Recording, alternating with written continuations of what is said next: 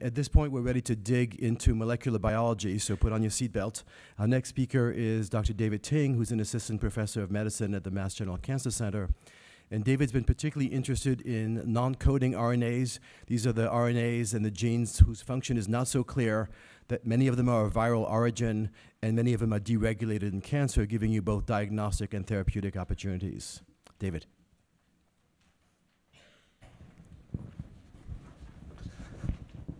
Thank you very much. Uh, and it's a true uh, privilege to be here this morning. I'm very excited to tell you about the work that the Ting Lab has been doing on satellite repeat non-coding RNAs. It looks like my title's not there. Um, so when I was taught in genetics, I, was, I, I remember hearing that the coding parts of the genome are the only things that mattered. Well, in fact, the, the rest of it was thought to be junk. So it turns out that that junk is not really junk after all. It's actually probably pretty interesting. That's the focus of my laboratory has been interested in understanding those repeats um, in the, in the non-coding genome.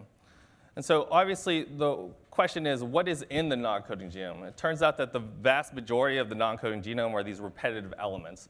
Those elements comprise the majority of our genome and play into the variation that we see in, between uh, individuals at the genomic level. So I got interested in repetitive RNAs when we had done some sequencing of uh, the RNA of cancers and normal tissues, and we found specific, unique expression of certain repeats in cancers, not in normal tissues. And so our journey began when we did single molecule RNA sequencing of uh, human and mouse tumors. Um, and what we found was that, uh, in fact, that we found a large amount of repetitive expression coming from non-coding satellite repeats. These are the repeats that live in the centromeres of all of our chromosomes. And what we found was there are certain satellite repeats that were being expressed more prevalently, prevalently in cancers compared to normal tissues. Those are the ones shown in black. While there are other ones that were expressed in normal tissues but not in cancers, and those are the ones shown in white. And so that was a very interesting thing. This is a defining thing in the genome that has not been otherwise looked at that was uniquely high in cancer, but not in normal tissues. And so, in particular, there was one outlier, this one at the top, HSAT2. This, this particular repeat was 131 fold higher in cancer compared to normal tissues. Uh, that's a striking amount. And interestingly, we found this in all the major epithelial cancers pancreas, colon, prostate, breast, kidney, ovarian, and lung cancer. Uh, and in normal tissues of the human, we found pretty much absent expression of this particular repeat across many normal tissues. And so that has significant implications as a novel cancer biomarker. But interestingly, if we had a way to harness that difference and therapeutically target that, we would have a novel way of targeting cancer. And so that's what we've been trying to answer over the last couple of years. Uh, in terms of the biomarker, we actually uh, teamed up with Affymetrix. We licensed our technology to Affymetrix, and we're able to develop an RNA in situ hybridization, otherwise known as RNA-ISH. This particular assay is able to visualize HSAT2, this particular repeat in tissue, that's shown here in red.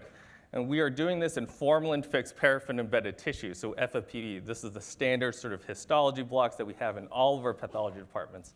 And this platform is able to detect these repeats routinely now on an automated CLIA-ready platform.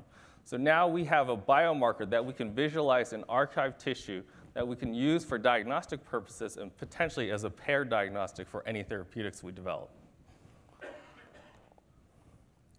So the, we started then looking at what, what does HSAT2 do?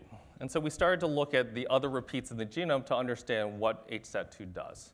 And HSAT2 lives in the middle of the chromosome, or the pericentromeric regions of all of our chromosomes, or of all of our major chromosomes.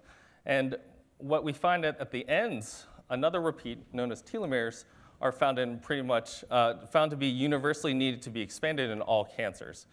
Uh, these repetitive elements um, are are also found in the rest of the genome called the line 1 element. This is the most uh, sort of prevalent repetitive element and makes up 20% of our entire genome. These elements share one thing in common. They both use reverse transcriptases to expand in the genome. So telomeres use telomerase to expand the telomeres. This is pretty much a universal necessity in all cancers. And the line 1 protein actually expands the line 1 repeat and moves it around in the genome in cancers. And multiple groups in TCGA have now shown that this particular repeat has been expanding in multiple types of cancers. So the obvious question was, does HSAT2 have reverse transcriptase? And the short answer is yes. So in a recent publication, uh, Francesco Bersani, one of the postdocs, and uh, Daniel Haber's lab and myself worked on this, and we identified that, in fact, HSAT2 is reverse, reverse transcribing. So it's taking its own RNA and it's converting into DNA. And it turns out that that DNA is expanding in the genome. So in TCGA whole genome sequencing data, this is in colon cancer, over 50% of all colon cancers have significant amplifications of HSAT2 at the genomic level. So this indicates that not only does reverse transcription of these repeats occur commonly in cancer, but they seem to uh, occur uh, in over half of these colon cancers. And when we looked at prognosis, in fact, these, these repeats seem to confer a worse prognosis.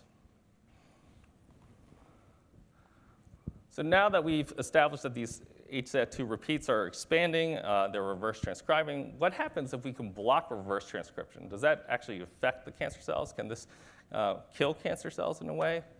And in this process, we had actually found a very interesting thing. We, we found that if you take any cancer cell line from any cancer and grow it in standard 2D, sort of standard adherent culture, so growing in plastic, with FBS, with normal uh, media, you have absolute zero expression of HSAT2, zero, all cell lines.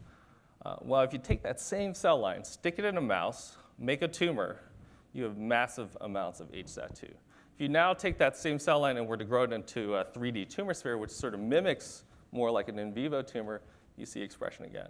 So what this really tells us is that this pretty prevalent feature in vivo is not seen in anything we do in standard culture, uh, which is a really telling thing. Uh, so interestingly, when we try to block the reverse transcriptase, so we use a nucleoside competitive uh, analog to the C uh, to, uh, or we use a locked nucleic acid that's sequence specific for the HSAT2. If we then treat these cell lines in standard culture, doesn't have an effect, no effect. Now, if you take these same cell lines and make these 3D tumor spheres and treat these with either the locked nucleic acids or the reverse transcriptase inhibitors, you now see a significant reduction in tumor sphere capability. And so what this tells us is that if this, these classes of drugs are tested in a routine sort of cell line screen, we would have missed these compounds. And in fact, DDC was developed by the NCI, and in initial testing in the NCI 60, no effect. So we took this into the mouse and made a tumor, treated these mice with these nucleoside reverse transcriptase inhibitors. In fact, we see in vivo that these drugs do have an effect on tumors in vivo. Now, this really sets up that these repeats are important for cancer cells and that blocking them uh, can lead to cancer cell death. But I think that uh, one of my collaborators has actually shown potentially more interesting thing. Uh, so my collaborators at, uh, at Mount Sinai have shown that the HSAT2 RNA, the same HSAT2 I found, they had found actually can stimulate certain immune cells. And in fact, is an immunomodulatory uh, molecule itself. So this suggests that disrupting these HSAT2 repeats in cancer may not only have effects on the cancer cells, but may affect the immune microenvironment. And in that setting, could it be possible that if we are able to take uh, HSAT2 and modulate its levels in some way, can we change how tumors respond to immunotherapy? Can we take cancers that are regularly not responsive to immunotherapy, which are the majority of our epithelial cancers, and can we convert them to responsive to checkpoint inhibitors by modulating this HSAT2 repeat. So I'm very excited for this data, uh, and I think there's much more to come, and I look forward to all of your questions in the Q&A. Thank you very much.